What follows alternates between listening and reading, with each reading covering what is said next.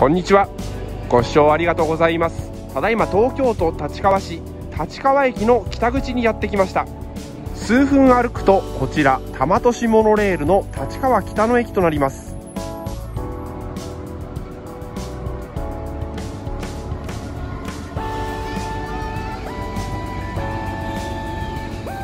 本日は東急5080系甲州層の動画となります。それではよろしくお願いします。編成の方は 5186F 編成6両となっています。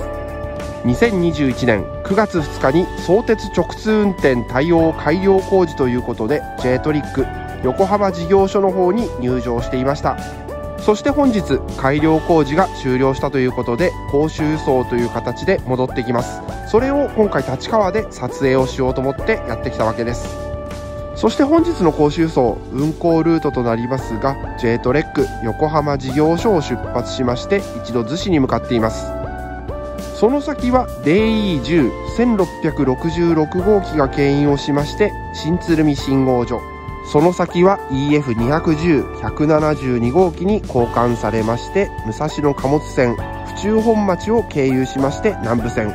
そして立川にやってくるということですね。立川から先中央線で八王子一晩留置をしまして横浜線で長津田に向かうこととなっています。イルミネーションを見てたら時間となってしまいましたので立川駅のホームに行ってみたいと思います。こちら立川では30分停車することとなっていますので中線に入るんでしょうか。改札の中に入り中央線下り6番線にやってきました。しばらくすると遠くに EF210172 号機桃太郎が見えてきました。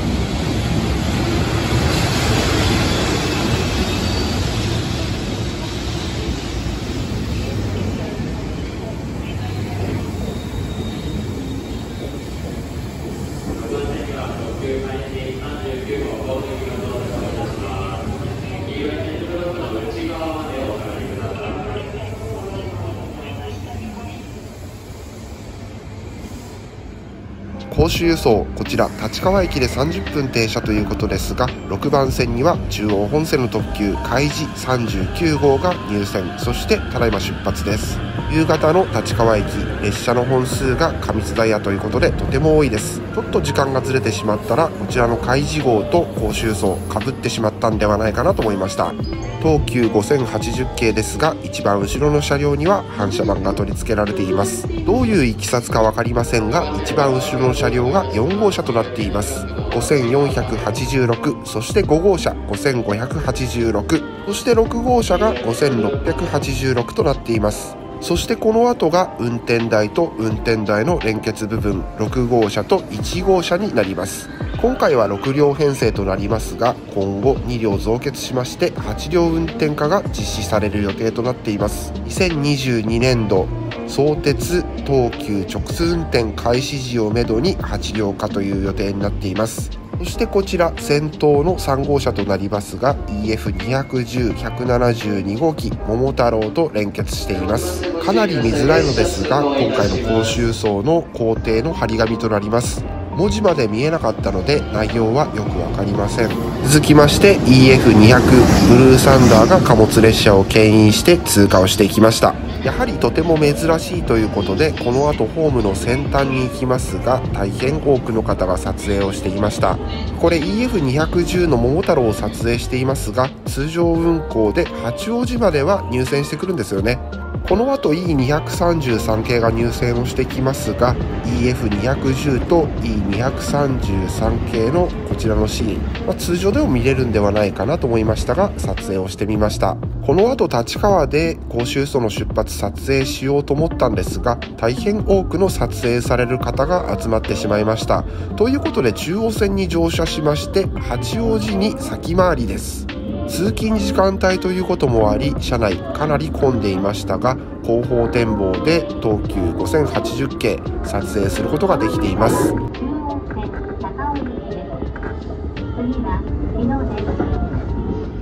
はいということで八王子駅に到着やってきました。こちらが34番線の中央線下りホームとなります。先ほどの立川の駅とは一変しましてこちら八王子のホームでは撮影される方誰もいませんでした。この後10分程度しますと甲州層到着ということですが連結切り離し作業があります。作業員の方が向かっています。そして遠くの方には EF210 の明かりが見えました。今回4番線ではなく中線に入るわけですがホームでは到着の放送は流れません。いきなり到着するわけです。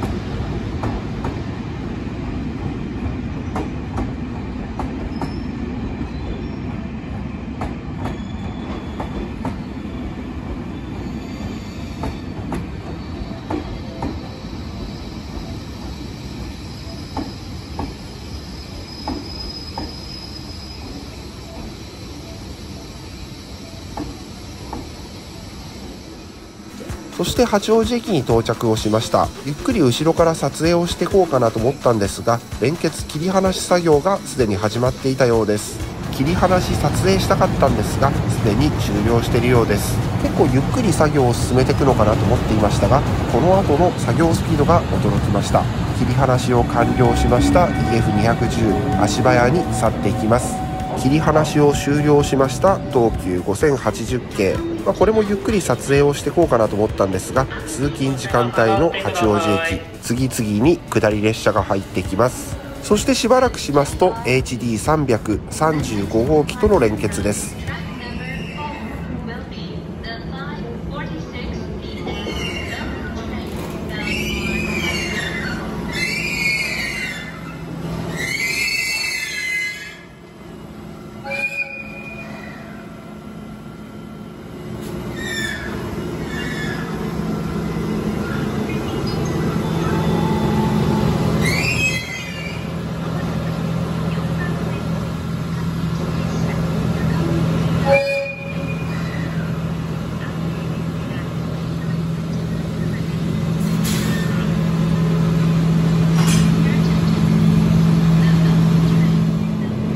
結が終了しますとこの後は入れ替え作業が行われます。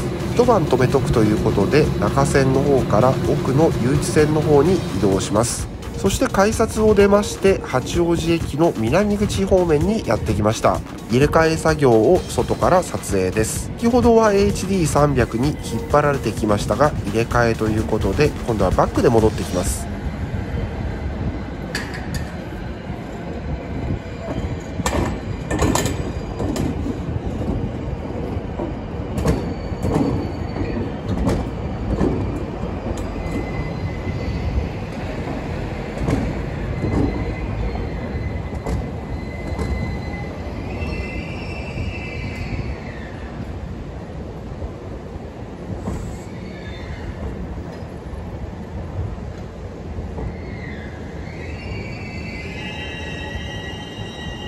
動きも止まりまして本日はここで一晩留置という形になります。そして日が変わり翌日に八王子駅にやってきました。すでに昨夜の場所からは中線の方に移動されています。その後は DE101666 号機によって八王子から横浜線で長津田まで牽引をされていきます。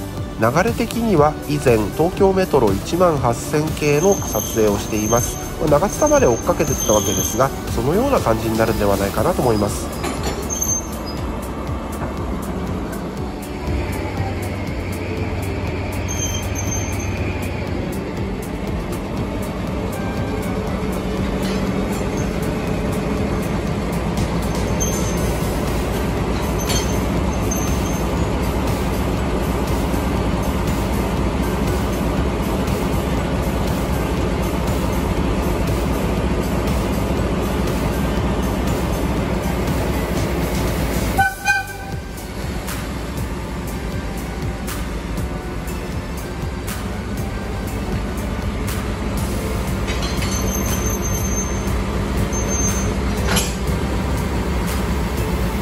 結作業も終了しましてこちらの横浜線が出発しますと甲州層も出発となります。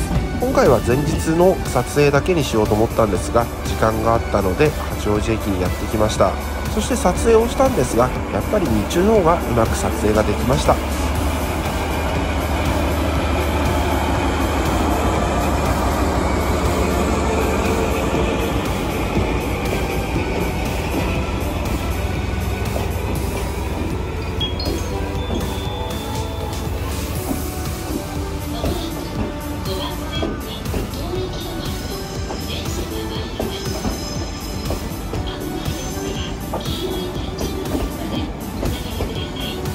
回ちょっと動画の方長くなってしまいましたがこちらでお見送りをしまして終了したいと思います。最後までご視聴ありがとうございました。そしてチャンネル登録もよろしくお願いします。